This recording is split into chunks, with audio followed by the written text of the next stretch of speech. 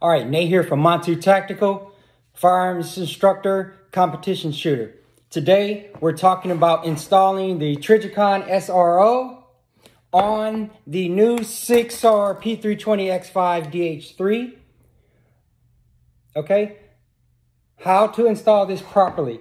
Um, all right, so the first thing we're going to do is make sure no, no ammo is in the gun, everything's clear. Okay, all clear drop the hammer, pull the trigger, safe.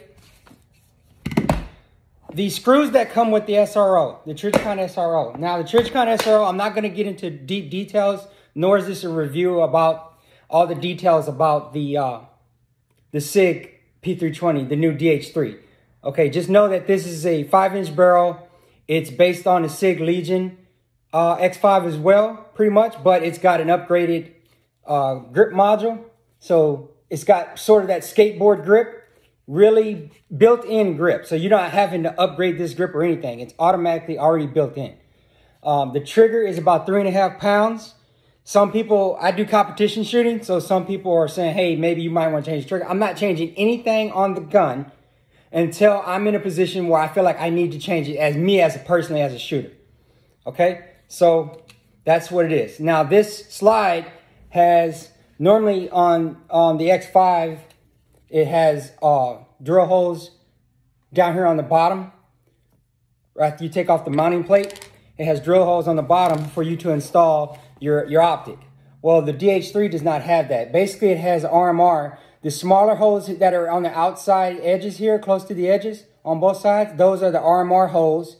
And the bigger hole is the are the holes for the um, the iron sight, just a regular plate, without, if you're not going to use an optic. So take the screws off. You need to use a bit to, uh, let me just tell you the bit you need. You need a T15 bit to take off the, the, uh, the iron sights plate, just the regular plates. And uh, let's drop the, or what we do is you just lock this to the back. Okay, lock it to the back. And you and and the takedown lever, you just pull it like this, pull it all the way down while the slide is locked back. Then release the, uh, hit the slide release, but hold the slide release while you're, while you're holding the slide so it doesn't fly off. And just kind of pull that off. And there you go. There's our, there's our slide. All right, so those are gonna go into the, the RMR hole. So the SRO, Trijicon SRO, retails for $700, $770 it retails on Trijicon's website. Don't go to Trijicon's website. Um, I'm not doing this for Trijicon. Um, this is just, I haven't found any videos on YouTube on how to install this optic on the new SIG Sauer uh, P320X5 DH3. So I'm making a video on how to do this, how to mount the Trijicon SRO onto onto the uh, the SIG Sauer here. So um, you can get with my friend here. So I'm out of Houston. There's a, uh, a brother here in Houston uh, named Randy, and his company is called Obsidian Tactics. I was able to order this for $500 and $500 plus shipping. So $500 just for the optic. Normally it's 771. So get with Randy at Obsidian Tactics.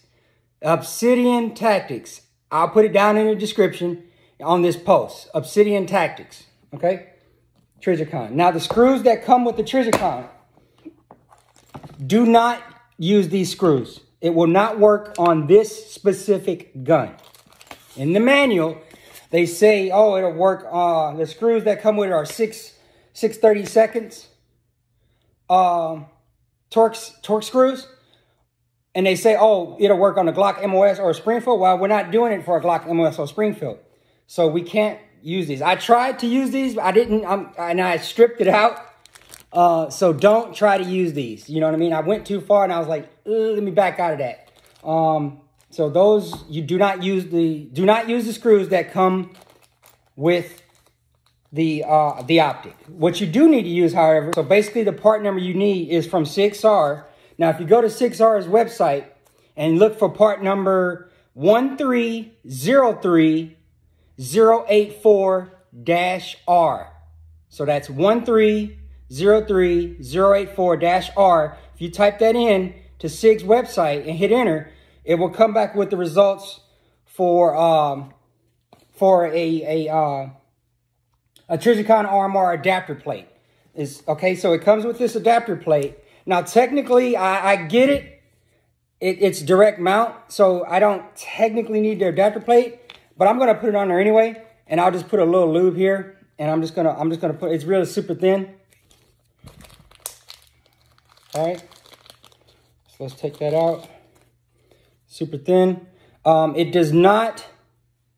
There's a notch under here it does not go under that notch like you would think from the picture that it would go under there, but it doesn't. It just it just rests on the on the uh, on the mounting part of the of the slide just like that.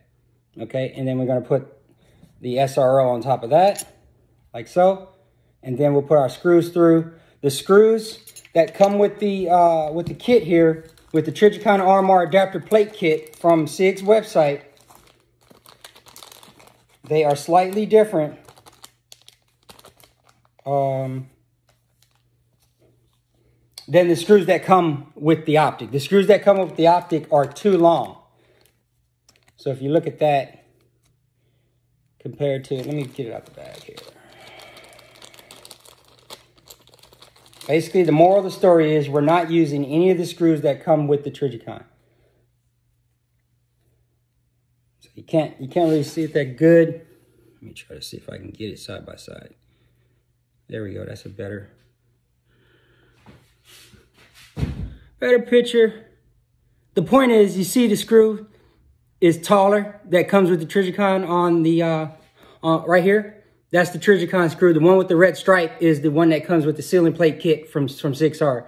So you can't use the longer screws that comes with Trijicon for this to mount that SRO onto the SIG P320X5, period. You can't use it, okay? So don't try it you're going to get it stuck in there and you're going to have to like use vice grips to get it out. All right, so I just want to make be clear on that. So little oil will go on that slide. I'll put the plate, the little thin plate on, then I'll put the optic on top of that. Again, the Trijicon SRO is 6 MOA dot. So I do competition shooting, so I'm upgrading from my Glock, my Glock 19, right, with a 4-inch barrel I'm upgrading that to the 5-inch barrel SIG, and it's not just about the barrel length. Uh, let me just run down. I, am not going to do a full review of the SIG, but basically, it's uh, it's competition ready. It already has the grip, so it's got the skateboard grip. You're not having to upgrade the grip and pay $100 for a new grip. You're not having to really change the trigger. Yes, I could technically change the trigger, but it's a three and a half pound trigger already. Um, what else? It's got three 21 round magazines. It comes with additional springs for different pounds, 13, I believe 18 pounds and 15 pounds. It's striker fired. Uh, what else? Tungsten, tungsten polymer grip. And it's weighted on the inside here, inside the slide, inside this, the uh, the magwell here. There is there's a weight to it. There's a little metal weight in here, so that's what's adding a lot of the weight too. So you don't have to do anything with this gun. Um, it's ready to go for competition shooting right out of the box in my humble opinion. It's not like the previous X5 Legions where you had to do a bunch of changes to the trigger and all these sort of things. Now, you know, three and a half pound trigger, do we really want a two, two pound trigger, a three pound trigger? Is it really that big of a difference? So I'm not changing. Yes, there's a little, there's a little take up here, you know, uh, on the trigger, but you know, I'll change it if I feel like I need to. When I get to, when I le start leveling up and I feel like I really need to change the trigger because all the take up is, you know, a micro hair off, then maybe I'll change the trigger. But for now, stock trigger, three and a half pound works. Um, again, it's, it's also 43 ounces. So that's enough about that. So let's get into mounting the actual Trijicon SRO uh, specifically. So I'm gonna pause the video, come back. Now to mount that, um, where's that bit? Here it is. So to mount the Trijicon with these, with this screw plate kit, you need this uh, Torx wrench and make sure it, that it's 5 64ths. Okay, 5 64ths. I don't know if you can see that, that, that well. I'm to use the Fat Boy uh, torque wrench and it needs to be set to 15 pounds. Per the manual for the Trijicon, the Trijicon manual calls out 15 pounds of pressure that you need to screw that down. Once you put the screws in, you screw that down, okay? Do not over torque your your optic. You just pay $500 for the optic. We don't want to break the, I mean, it's not going to break that easy, but we don't want it to come off the gun. So torque it to the right specification, 15 pounds, okay? Make sure you have the proper tool. This was about for 50 bucks maybe. All right, so very good tool to have. I'll pause the video, be right back.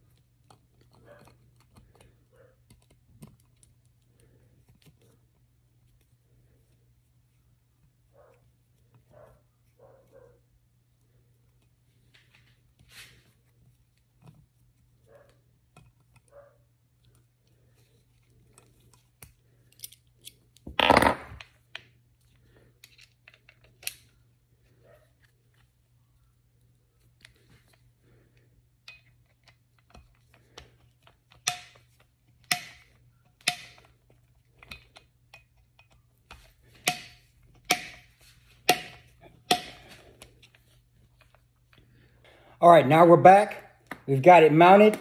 We got the Trijicon SRO mounted. Torque, Torx, uh, using the Torx uh, 15 pounds to uh, tighten it down. The screws went in easy. When I tried to use the screws that came came in the box with the Trijicon, it was really difficult screwing it down. And I thought, oh, maybe it's just because it was a tight, you know, maybe because it's a new slide.